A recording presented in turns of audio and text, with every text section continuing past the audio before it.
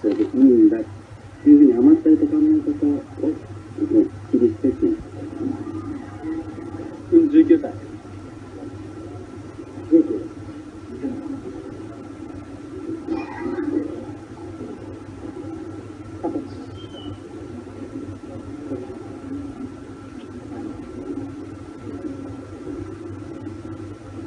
1910。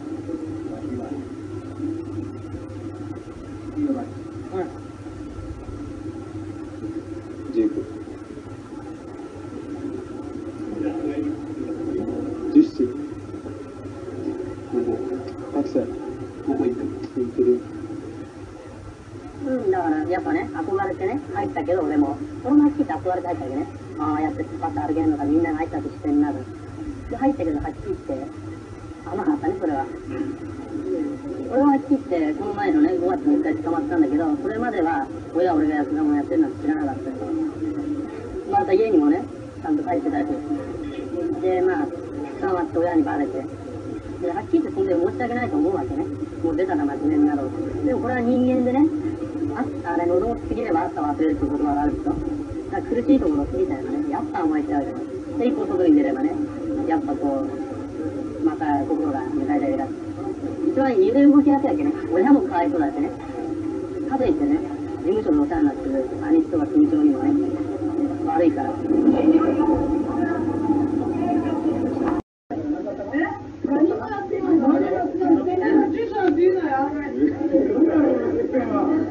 土曜日に限らずいつ訪ねても深夜の新宿は10代で溢れていたその中に高価なスーツが板についた少年たちを必ず見かけるヤクザの世界に足を踏み入れた10代だった年はいくつですかえ、18です。ヤクザになったいつかと思いますまあ、新宿でね、あの今の自分の直系の兄貴に嫌われたから、その人やっぱ惚れたからね、どうせやることないからもう、もうこの家業で一生決めようって感じで、まあやりました。はい。それまでもプラプラしてましたね。ええ嫌われたすごい。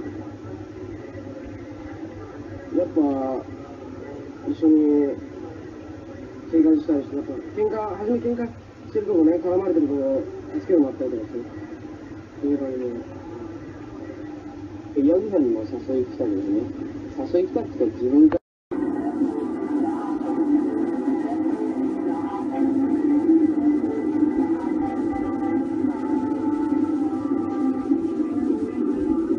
今さえ楽しければと楽な方へ心地よい方へと流れてゆく子を数えきれないほどにいた。そういう子供たちに強い影響力を持っていたのは同じ道を歩んできた先輩であり仲間であった。ちに手を差し伸べている大人といえばヤクザや右翼であった14の子供たちはどんな大人かを問うことを知らずその手にすがってゆこうとしていた。